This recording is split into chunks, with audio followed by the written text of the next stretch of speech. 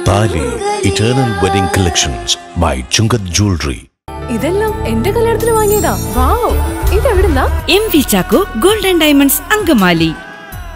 കർഷകപേരി Angamaly area തല ശില്പശാലയും നാലാം ഘട്ട പദ്ധതി പ്രഖ്യാപനവും നടത്തി. അങ്കമാലി സി എസ് ഐ ഹാളിൽ സംഘടിപ്പിച്ച പരിപാടിയിൽ കർഷക സംഘം ഏരിയ സെക്രട്ടറി പി അശോകൻ അധ്യക്ഷത വഹിച്ചു.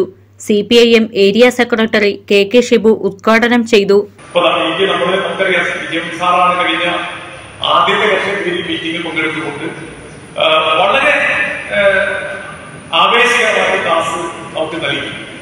ആ ക്ലാസ് നമുക്ക് ഒരുപക്ഷെ കർഷക ഭേദിയുടെ പ്രവർത്തനം താഴെത്തട്ടിലേക്ക് കൊണ്ടുവരുന്നതിന് വേണ്ടിയുള്ള കാര്യങ്ങളിൽ ഏറെ ആവേശം കൊടുത്തത് നമ്മുടെ നമ്മുടെ സഖാക്കൾക്ക് നമ്മുടെ കർഷക സംഘ പ്രവർത്തകർക്ക് കർഷകരാണി പ്രവർത്തകർക്ക് ഒക്കെ തന്നെ വളരെ ഒരു വാശിയോട് കൂടി ഈ പ്രവർത്തനം താഴെ തട്ടി നടത്തുവാൻ വേണ്ടിയുള്ള ഒരു ക്ലാസ്സായി നമ്മുടെ എ പി സ്മാരകത്തിൽ കൂടിയ ആ യോഗത്തിൽ വാശി നമ്മുടെ വിജയസാധ്യത പങ്കെടുത്തുകൊണ്ട് ക്ലാസ് നയിക്കുന്നത് സഹകരണ ബാങ്ക് മുൻ സെക്രട്ടറി എം പി വിജയൻ വിഷയാവതരണവും ക്ലാസും നയിച്ചു.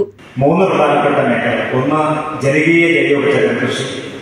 മറ്റൊന്ന് മാലിന്യ സംസ്കരണം മൂന്ന് സ്വാതന്ത്ര്യ ചികിത്സ ഈ മൂന്ന് സ്വാതന്ത്ര്യ പരിചരണം. ഈ മൂന്ന് മേഖല.